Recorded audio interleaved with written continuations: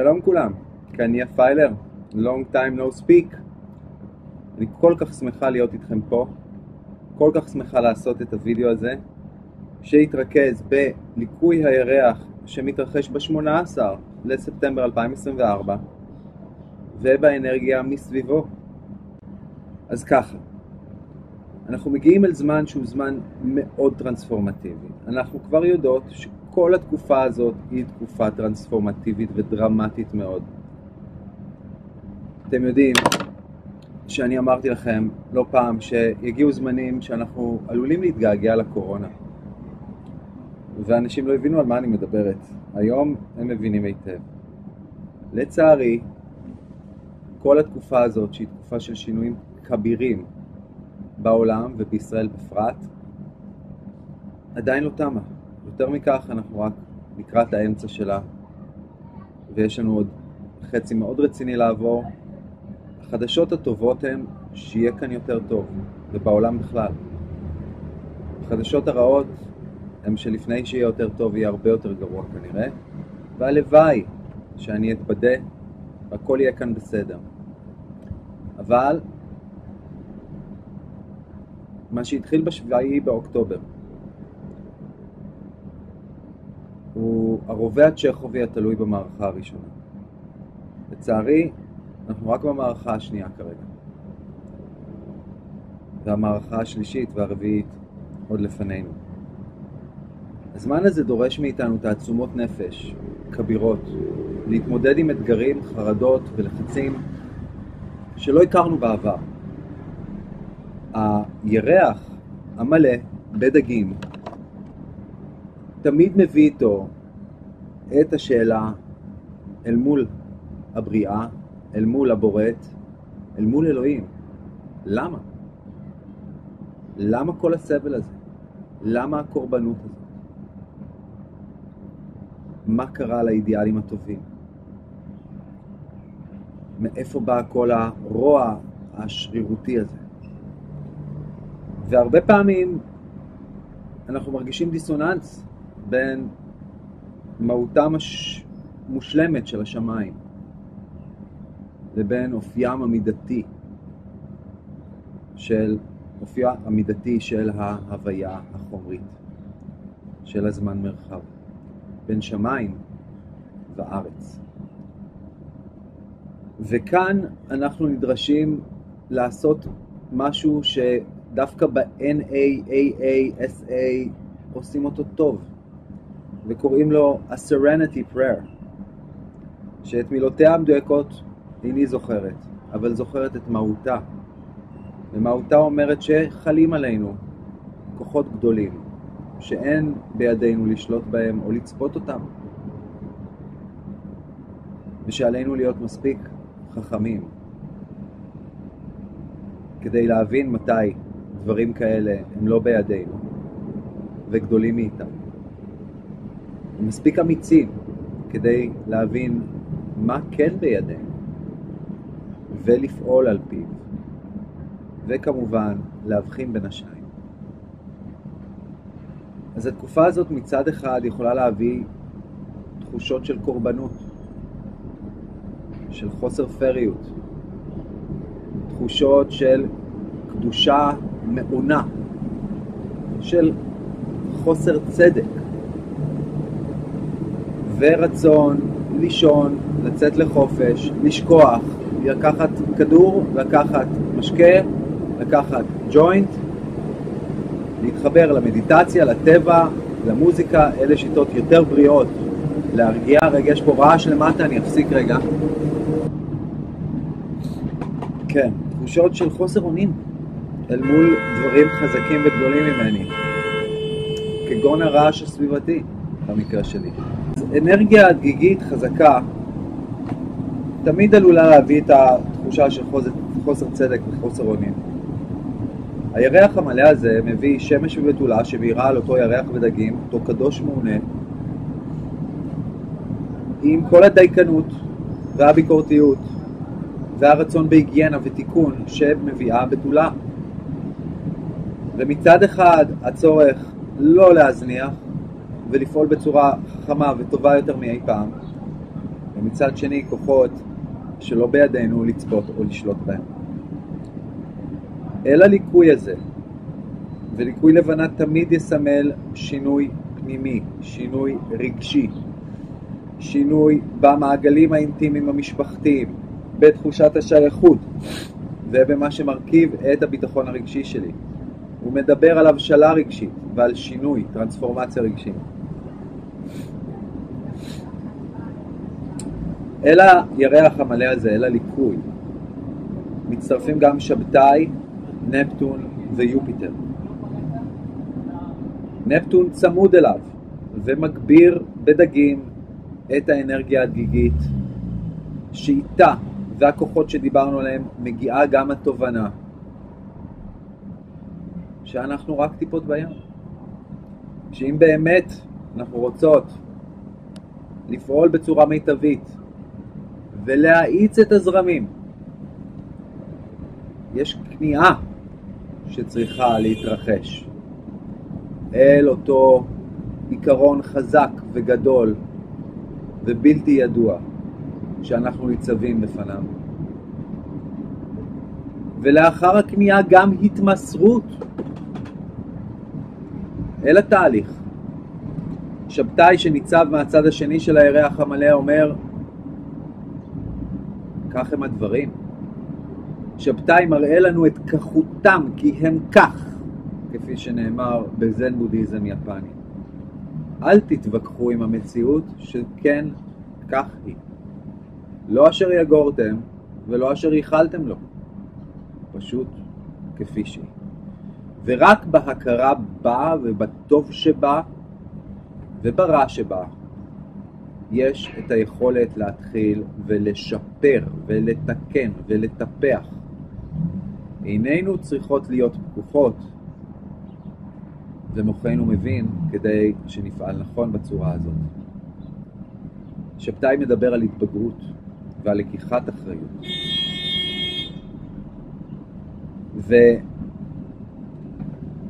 וכמו כן, כאשר אנחנו מגיעים אל המציאות ואנחנו נמצאים בזמנים קשים, מדכאים, שבהם יש הרבה אבל מסביבנו ובתוכנו, הנשק הטוב ביותר שאני מכירה כנגד זה הוא הוקרת תודה. ולא לקיחה של משהו יחיד בחיים שלכם, כמובן מאליו. זה הנשק הכי עוצמתי ופוטנטי כנגד הדיכאון והאפתיות ותחושת הקורבנות. אני מסיימת כל יום ומנסה להעביר אותו גם כן, בהוקרת תודה.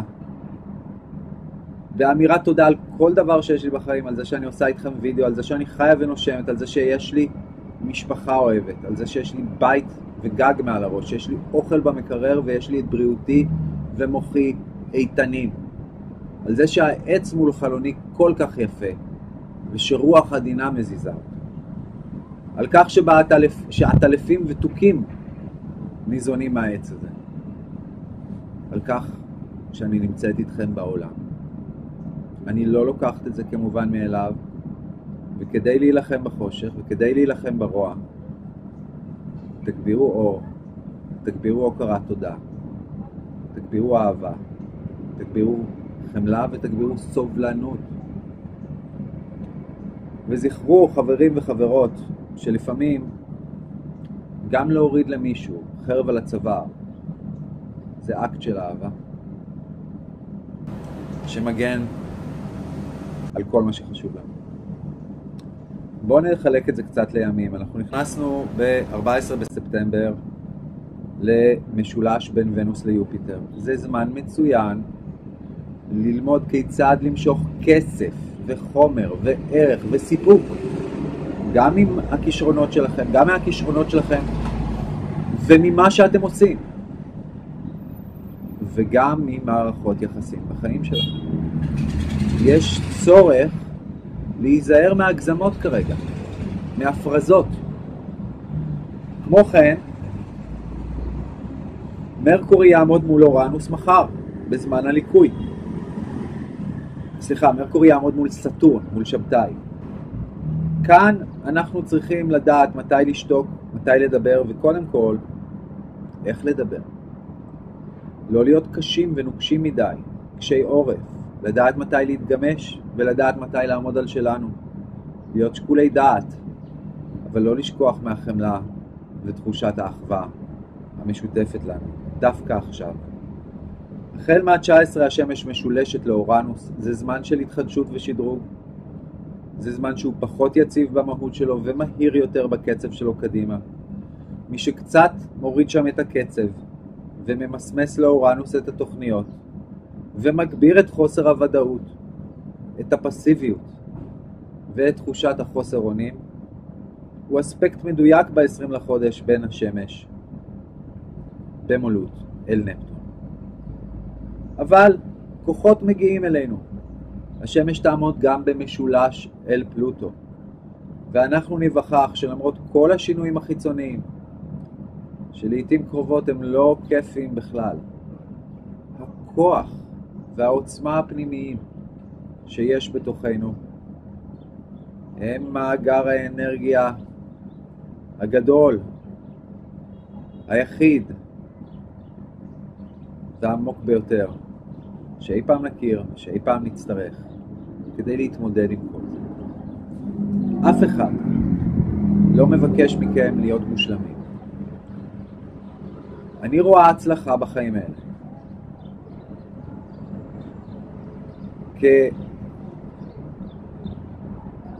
כדבר כזה.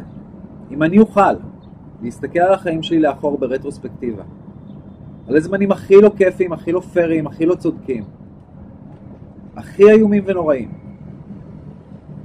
ולהסתכל על התגובה שלי אל מה שקרה,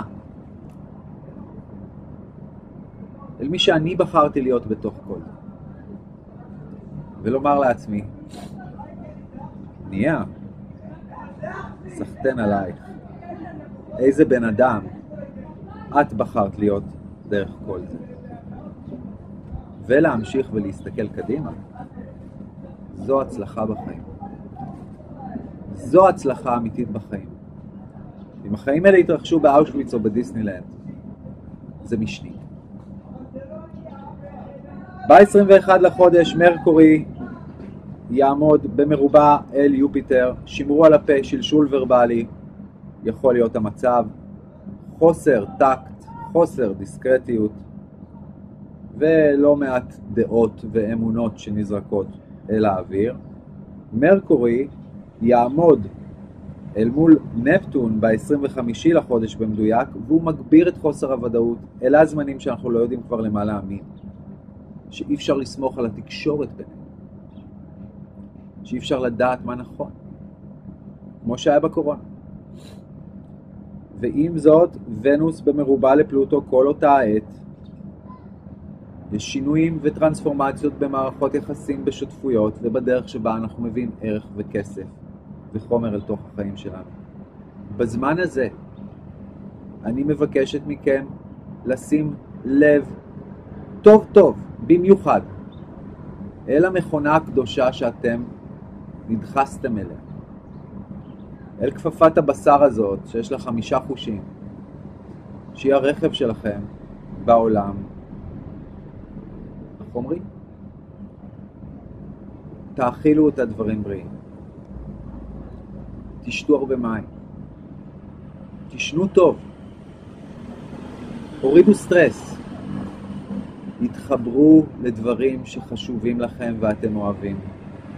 הרגישו שאתם עושים שינוי, גם אם זה בעולמכם, בעולמכם הפרטי או בסביבתכם האינטימית. אל תיתנו יד לאפתיות. לדיכאון ולייאוש.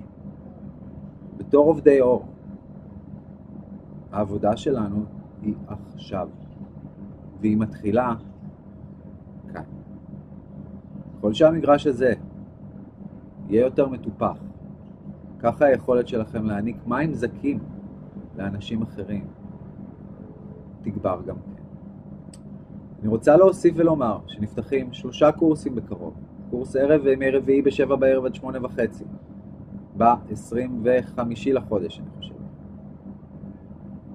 וב-22 לחודש קבוצת אה, אחר הצהריים, וב-23 לחודש קבוצת בוקר. קורסים למתחילים, תיפתח גם קבוצה למתקדמים. כל מי שרוצה קריאה אישית, כל מי שרוצה להצטרף לקורס, ליצור איתי קשר. כל הפרטים בסיום הסרטון. תודה רבה שאתם מקשיבים, תודה רבה שאתם מפיצים ומפיצות את זה. ותודה רבה שאתם עושים את העולם הזה טיפה יותר טוב, כי כולנו חיים בו ביחד, ואין כאן שום טעות.